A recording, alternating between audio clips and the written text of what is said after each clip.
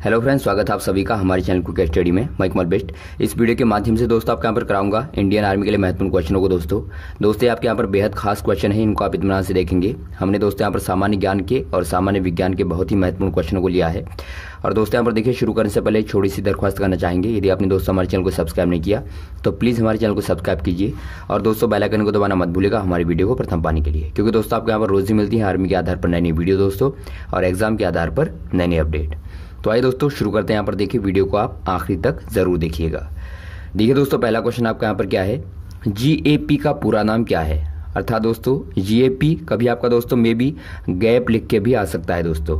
तो इसका पूरा नाम आपको लिखना है दोस्तों, क्या होगा? गंगा एक्शन प्लान या फिर गंगा गैंग एक्शन प्लान या फिर गंगा रिवर प्लान या फिर कोई नहीं। दोस्तों, ये आपका यहाँ पर होगा Ganga action plan option number दोस्तों ए वाला आपका सही हो जाएगा। और ये दोस्तों आपका बहुत ही महत्वपूर्ण क्वेश्चन है, आप याद रख लेंगे। अगला क्वेश्चन यहाँ पर देखिए दोस्तों चिपको आंदोलन डेडेस नामक गाँव में हुआ था। दोस्तों यहाँ पर देखिए आपको गाँव का नाम बताना है दोस्तों।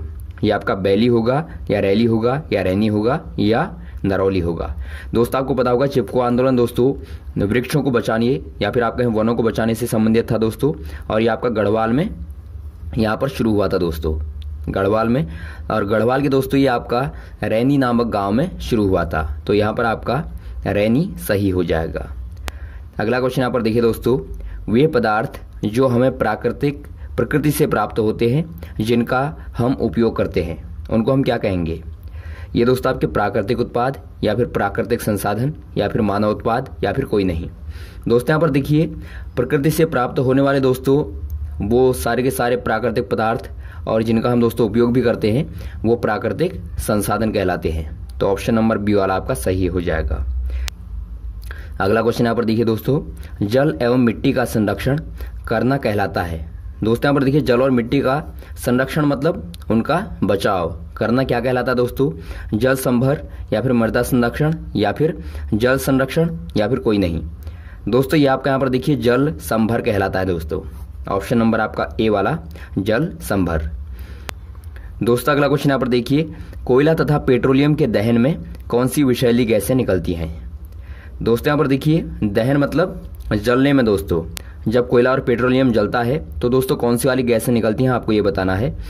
दोस्तों, ये आपका सी और CFC या फिर आपका नाइट्रोजन और सल्फ़र के कार्बोनेट व सी या फिर नाइट्रोजन और सल्फ़र के ऑक्साइड व CO या फिर कोई नहीं। दोस्तों, यहाँ पर देखिए, इनके जलने से दोस्तों, दहन होने से आपका नाइट्रोजन और सल्फ़र के ऑक्साइड प्लस दोस्तों सीओ अर्थात कार्बन मोनो ऑक्साइड जो आपकी बहुत ही जहरीली गैस होती है दोस्तों, विषैली गैस होती है, ये निकलते हैं। तो ऑप्शन नंबर आपका सी वाला सही हो जाएगा, ये क्वेश्चन भी आप याद रख लेंगे। अगला क्वेश्चन यहाँ पर देखिए दोस्तों एम पी एन एमपीएन से दोस्तों क्या तात्पर्य है? अर्थात दोस्तों, आपको फुल फॉर्म बताना है क्या होगा। या आपका दोस्तों मोस्ट प्रोबेबल नंबर या फिर मोस्ट प्रॉपर नंबर या फिर मोर प्रोबेबल नंबर या फिर कोई नहीं। दोस्तों, ये आपका यहाँ पर होता है मोस्ट प्रोबेबल नंबर दोस्तों। ये आपको यहाँ पर याद रखना है मोस्ट प्रोबेबल नंबर जिसकी दोस्तों अधिकतम प्रायिकता हो, वो आपका मोस्ट प्रोबेबल नंबर कहलाता है। अगला क्वेश्चन यहाँ पर देखिए दोस्तों, धातु के निष्कर्षण से डेडेस प्रदूषण फैलता है। दोस्तों, कौन सा वाला प्रदूषण फैलता है आपको बताना है? या आपका दोस्तों, वायु या जल या खनन या ध्वनि। दोस्तों, यहाँ पर देखिए, पहले आपको धातु का निष्कर्षण के बारे में पता होना चाहिए। दोस्तों, यहाँ पर देखिए, जब भी हम कोई धातु बनाते हैं, मान लीजिए आपका लोहा है या फिर आपका एल्यूमिनियम है, कोई भी धातु है दोस्तों, वो खनन के बाद प्राप्त होती है हमें तो उसमें दोस्तों बहुत सारी गंदगियाँ होती हैं। दोस्तों, जिनको हम गैंग बोलते हैं। तो दोस्तों, उनको निकालने में, उनको साफ़ करने में प्रदूषण आपका होता है। वो प्रदूषण दोस्तों आपका खनन प्रदूषण कहलाता है। ऑप्शन नंबर आपका सी वाला सही हो जाएगा। दोस्तों, अगला क्वेश्चन यहाँ पर देखिए। एक गोलीय दर्पण की वक्रता त्रिज्या 20 सेंटीमीटर है तो उसकी फोकस दूरी क्या होगी? दोस्तों, बहुत ही महत्वपूर्ण क्वेश्चन है। आपको पता होगा, गोलीय दर्पण आपके दोस्तों, इनकी यदि आपका आर यहाँ पर वक्रता त्रिज्या है तो दोस्तों एफ़ क्या होगी? आर बट्टे दो। क्योंकि दोस्तों, इनमें ये संबंध होता है फोकस दूरी दोस्तों, वक्रता त्रिज्या की आधी होती है। तो यहाँ पर देखिए 20 यदि आपकी दोस्तों आर दी है तो एफ़ कितनी होगी? 20 बट्टे दो अर्थात दोस्तों 10 सेंटीमीटर आपकी हो जाएगी। ऑप्शन नंबर आपका बी वाला सही हो जाएगा। अगला क्वेश्चन यहाँ पर देखिए दोस्तों, प्रकाश की चाल निम्न में से किसमें सबसे कम होती है? देखिए, आपको यहाँ पर सर्वाधिक कम किस्म होती है, आपको बताना है। ये आपका दोस्तों हीरे में, या कांच में, या पानी में, या कोई नहीं। दोस्तों यहाँ पर देखिए, हीरे में सबसे कम होती है, क्योंकि दोस्तों हीरा सबसे कठोर होता है दोस्तों। तो ये आपको यहाँ पर याद रखना है। अगला क्वेश्चन यहाँ पर देखिए दोस्तों लेंस की क्षमता का मात्रक क्या होता है दोस्तों? बहुत ही महत्वपूर्ण क्वेश्चन है दोस्तों। लेंस की क्षमता का दोस्तों मतलब पावर का, मात्रक मतलब यूनिट ये दोस्तों आपकी होगी न्यूटन या एम्पियर या डाइप्टर या फिर ओम। दोस्तों यहाँ पर देखिए, ये आपकी होती है दोस्तों डाइप्टर ऑप्शन नंबर आपका सी वाला सही हो जाएगा। और न्यूटन आपको पता होगा दोस्तों, बल का मात्रक होता है।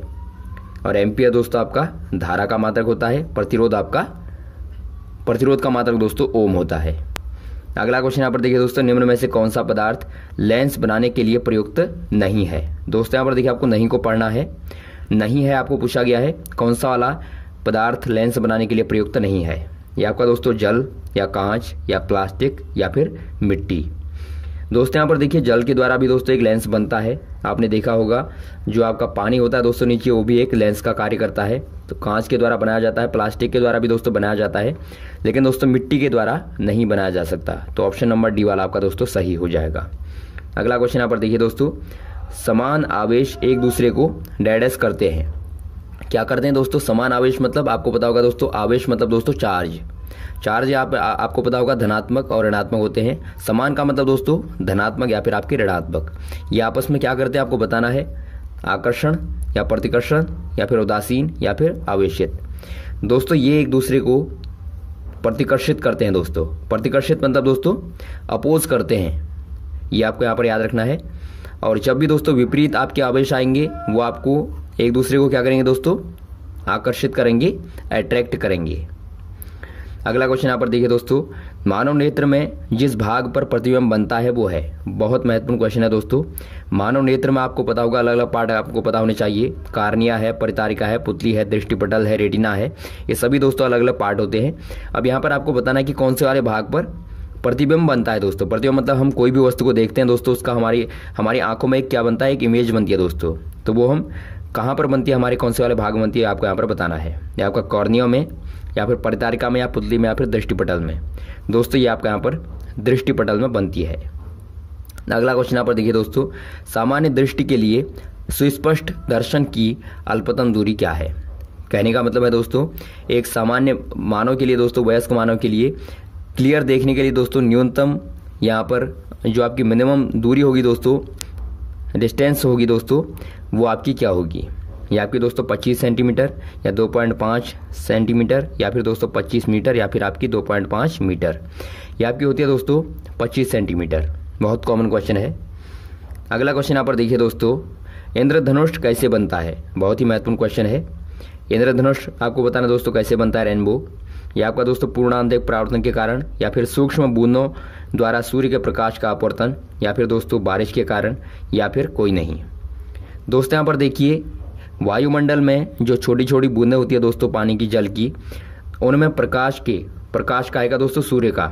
सूर्य के प्रकाश के अपवर्तन के कारण दोस्तों, ये इंद्रधनुष बनता है दोस्तों। तो यहाँ पर आपका बी वाला सही हो जाएगा, और ये बहुत महत्वपूर्ण क्वेश्चन है, और यहाँ पर सात रंग दिखाई देते हैं, क्योंकि दोस्तों प्रकाश में, सूर्य के प्रकाश में ये सात रंग होते हैं दोस्तों। तो दोस्तों, ये थे हमारे खास क्वेश्चन दोस्तों, महत्वपूर्ण क्वेश्चन और उम्मीद है आपको अच्छे लगे होंगे दोस्तों, समझ में आए होंगे। और भी इस तरह के क्वेश्चन को हम लगातार आपको बताए जाएँगे दोस्तों, हमारे साथ भी बने रहेगा। ओके थैंक्स जय हिंद, जय भारत। पदार्थ की चौथी अवस्था क्या होती है? ये दोस्तों आपके यहाँ पर देखिए फोर्थ स्टेट ऑफ़ मैटर आपको बताना है। ये आपका दोस्तों, ठोस, तरल प्लाज्मा या फिर गैस। दोस्तों, यहाँ पर देखिए, आपने पढ़ा होगा ठोस तरल और गैस आपकी तीन अवस्थाएँ होती है दोस्तों। लेकिन चौथी अवस्था आपकी होती है दोस्तों, प्लाज्मा। तो ऑप्शन नंबर आपका सी वाला सही हो जाएगा। अगला क्वेश्चन यहाँ पर देखिए। इनमें से एक मिश्रित उर्वरक है। आपको बताना है दोस्तों यहाँ पर देखिए इनमें कौन सा मिश्रित उर्वरक आपका यहाँ पर है। पहला आपका यूरिया, दूसरा आपका अमोनियम सल्फेट, तीसरा आपका सी चौथा आपका है एनपीके दोस्तों यहाँ पर देखिए ये आपका हो जाएगा दोस्तों एनपीके ऑप्शन नंबर डी वाला आपका सही हो जाएगा। अगला क्वेश्चन यहाँ पर देखिए दोस्तों, गाय का दूध किसका समृद्ध स्रोत है? समृद्ध स्रोत मतलब दोस्तों, सर्वाधिक क्या मिलता है? विटामिन ए या बी या सी या डी दोस्तों, ये आपका यहाँ पर हो जाएगा विटामिन ए विटामिन ए दोस्तों, प्रचुर मात्रा में मिलता है गाय के दूध से। दोस्तों, अगला क्वेश्चन यहाँ पर देखिए टाइफाइड बीमारी कहाँ होती है? अर्थात दोस्तों, कौन से वाले अंग में यहाँ पर होती है, आपको बताना है। या आपका दोस्तों लीवर में, या फेफड़ों में, या पेट में, या आंत में। दोस्तों, ये आपके यहाँ पर होती है आंत में। ऑप्शन नंबर डी वाला आपका सही हो जाएगा। अगला क्वेश्चन यहाँ पर देखिए दोस्तों।